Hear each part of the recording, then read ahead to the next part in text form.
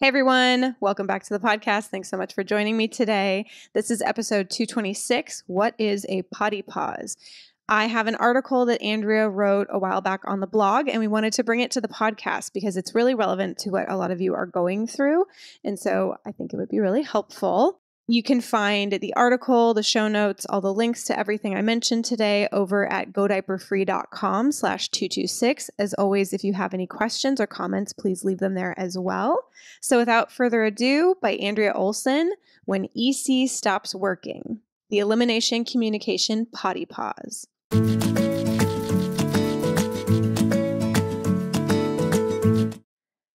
Potty pause, a not so great word. Let me share what it is and what to do about it. So, you're doing elimination communication with your baby, and everything was going great for the last few weeks or months. You caught every poo and almost every pee, or the majority thereof. You may not even have studied up on infant potty training. You've just had such great beginner's luck. But now, oh my, sheesh, your baby pees right after you take her off the potty. On the floor, she arches every time you try to put her on the mini potty. Before, she happily went along with you. You were in harmony. But now, let's just call it the opposite of harmony, and it's gone on for several days. You are royally frustrated. Understatement? You need help, so here it is an alternative view of the potty pause. I'm not going to teach you how to address or fix the potty pause in this article. Instead, I'm going to pass on vital information that was handed to me from a longtime diaper free baby mentor in Seattle, Kirsty Connor. It's an ex- excerpt from my book, Andrea's book, Go Diaper Free, which covers how to simply begin an EC practice with your baby. Here it is. So, this is the article within the article by Kirsty Connor, longtime diaper free baby mentor in Seattle, Washington. EC phases. I've noticed that there seem to be two times in a child's life with EC when problems arise. And I think that during both of these times, it is frustrating for the adults involved and also for the child involved, but they can't tell you clearly. And with life being busy, it is easy to decide to put the diapers back on and wait until things improve. However, it would be better to continue doing what you are doing. This time of discord is very important to the process. And even though there may be more misses, this is a time of great strides for a child. When your child begins to walk or talk, they stumble and stutter and make mistakes. You wouldn't see your child struggling to walk and then think, she's not ready to walk yet, because she isn't perfect at it yet. So I'm going to confine her to a safe environment where she cannot walk, and I will keep her there until she is ready to walk. Instead, you do what you can to keep her safe while she stumbles and falls and learns to teeter and totter and finally, eventually, walk. She fails while she is learning, and as a parent, we tolerate these failures because we know it is part of the learning process. However, when it comes to, e- to the EC process and we've been having success, somehow as our child begins to learn that they are a part of the process and they can control both when and where they potty, parents become confused. Why is there now failure when before there was so much success? I think that we fail to realize what we fail to, to realize is that our measure of success needs to change at this point. Children learn how long they can hold the contents of their bladder by holding it so long they can't hold it any longer. They are in touch with the elimination process. They know what it feels like when their bladder is full.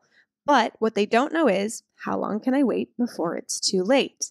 They get involved with other activities and they don't want to stop, even if they have that full bladder feeling. They may be involved in this experimentation process when, based on timing or intuition, an adult decides to potty the child, who protests vehemently. Then, as soon as you take the child off the potty, they realize that they have exceeded their potty holding limit and they pee on the floor. The adult reaction is frustration. Why is this happening? But in fact, the learning process is happening. And this is a great time to continue your communication with your child. Oh, you are peeing. Next time, if you let me know, I can help you put it in the potty. Very low key. So, my theory is that this part of the learning process happens sometime between 7 and 12 months. What we did during this time was try a few different locations mini potty, then sink with mirror, regular toilet with insert, then outdoors. We were trying to distract her from her bladder holding experiment long enough for her to pee. If she peed, great. If not, we used either a diaper backup, we put her on some sort of impervious surface, or we lived dangerously, knowing that we'd be cleaning up a mess in the near future. Sometimes she surprised us and held it much longer than we suspected that she could, and we both learned. Sometimes she peed almost as soon as we let her go back to her chosen activity, and we both learned. The process smoothed back out again for a time, but our success rate was probably never as high as it had been before our daughter learned that she could delay the inevitable if it suited her. Then, between 12 and 16 months, the misses begin to increase again, and for us, this was the real key to our daughter graduating. She became very resistant to us ECing based on timing, which we had done from her, from birth with her. Although we had been signing with her and talking with her about elimination throughout our journey, at this stage, she was really acting out that she wanted control over this part of her life. It resulted in quite a few misses. But instead of diapering her back up and waiting until later when we thought she was ready, we gave her more control instead of less. We would ask her if she had to potty when we thought she should have to go or if we were heading out for a trip. And if she gave us a negative response, we would believe her, even if we were skeptical. We allowed her the ability to have confidence in knowing her body, even if sometimes it turned out she was wrong. The amount of time that it took her to realize that this was her thing and we were no longer the ones in control of where and when she pottied, she was completely diaper free within one month. And about two and a half months later, she is completely miss free. I'm not saying this timetable will apply to everyone. My point is this when a child who's on the EC journey has a series of misses, instead of considering it a potty pause, maybe consider it as part of the process and that the child is really expressing that they realize they are part of the process and support that.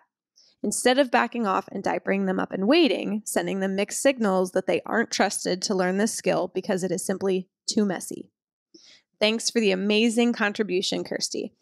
Now, if you're listening, this is Nicole again. The, that was the article by Andrea with the excerpt from Christy, sorry, Kirsty. And I just wanted to add that we have a couple resources if this is the phase that you're in right now. We have the Potty Pause Resolution mini course, and it will help you understand what's happening when your baby resists, learn the steps through it, really the nuts and bolts of how to get through the potty pause and hopefully prevent either prevent it from happening anymore or at least prevent it from being quite so dreadful. Of course, the Go Diaper Free book will be linked in here. And if you are struggling with this potty pause or potty training strike when your child is older than 16 months, uh, in that 16 to 18 month range or older, you're going to want to look at the Tiny Potty Training book.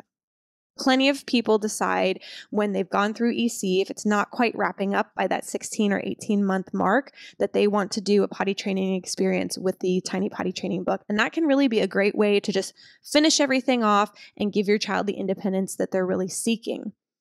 We also have a couple programs, digital programs. There is the Movers and Shakers uh, Mobile Baby EC program, and that is for that 7 to 12 month stage that Kirsty mentioned in her article.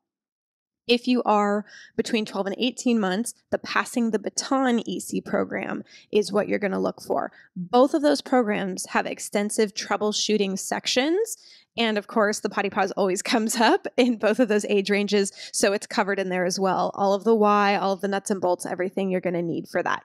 So thank you everyone for joining me today. What do you think about this concept? Let us know. Head over to the blog, godiaperfree.com slash 226. Does it resonate with you? Do you have other thoughts or experiences of how to end a potty pause or a full on potty strike? Please head on over and share with us, and we will see you next week.